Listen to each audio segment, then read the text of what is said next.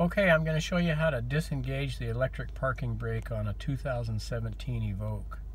You can see there in the red that the parking brake is engaged, the engine's on. You can see from the P at the bottom uh, the, of the cluster that we're in park.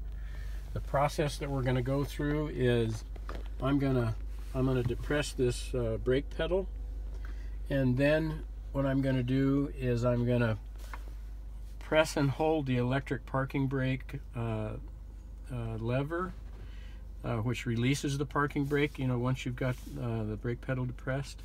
Within five seconds of pushing this in, I'm going to shut the engine off. And I'm going to continue to hold this for at least two more seconds. And what that will do is it will then disable the electric parking brake, disengage it, until I restart the car.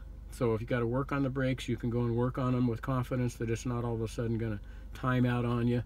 I had to go over 24 hours and it did not re-engage until I came back and started the car. So here we go, we're going to do it. Remember you saw the park up here in the dash and so we're going to show you how you get that removed. So here we go. We're going to go depress this lever within five seconds. The engine goes off you can see the park has disappeared, but I'm still holding the button and the brake pedal for at least two seconds.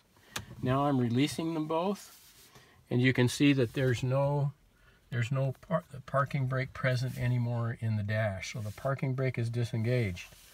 Now I've tried several things to try and you know see if anything would trip it and make it come back on except for restarting the car and there's not anything.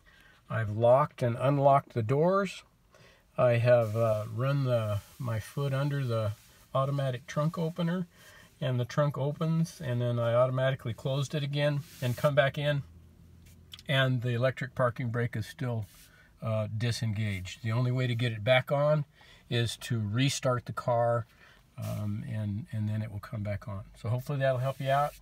Talk to you later.